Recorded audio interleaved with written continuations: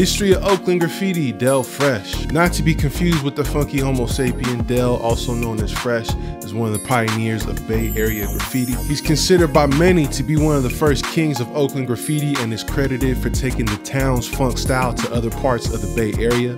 Phresh appeared in the 1984 book Spraycan Art by Jim Prigoff, helping to put Bay Area graffiti on the map worldwide. In 1986, he won a contest to design the logo for the local hip hop show Home Turf. Phresh's mural Oakland is Proud on East 12th Street was a landmark of the town and has been recreated and referenced many times over the years. The mural also appeared in the opening credits of Mark Curry's Hanging with Mr. Cooper.